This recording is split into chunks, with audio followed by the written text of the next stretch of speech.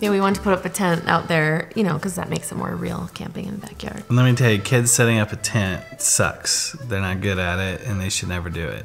We met in a tent, Lollapalooza, 93. Okay? It's a good show. This is what they call camping? The learning experience, a teaching moment. Teaching moment. Here's how you build a fire with sticks. The air helps the fire. Yeah, if you blow hard, that's what's the problem. Is you're not. Your mother out here, she could blow on that. In teaching kids about combustion, you know, Fahrenheit 451, what is that? That's when paper burns, you know? What's that? This is flint and steel, and you. Ooh. Yeah, I don't know. Ooh, a little spark. Okay. So that. Look at that. I hope it doesn't burn down the house.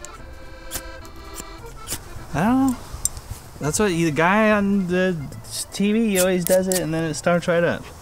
It's like a big thing. So Okay. stupid. I really think my dad should watch more Survivorman.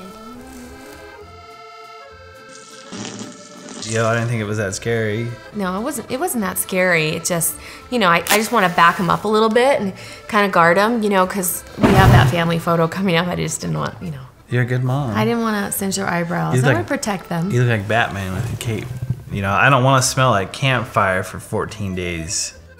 Your marshmallow doesn't taste like cigarettes, kids. Here you go. You know, that's the thing. It's like they want to watch TV all day with SpongeBob and all this other stuff. And it's like, what about Marshmallow Man? Wants a bite of Marshmallow Man? I do. I didn't think they would get so attached to Marshmallow Man. Ah, he already ate it. When the kids turn 18 and they're out of the house, they can build their own campfire. Saying, how can you prevent forest fires? Only you can prevent forest fires. By not having one at all.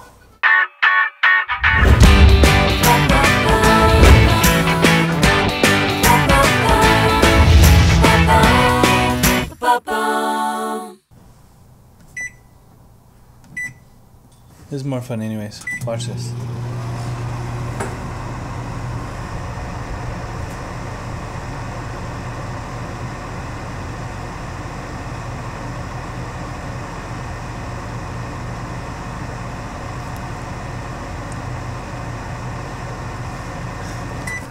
Look at that thing. Come on. That's what I'm talking about. Top.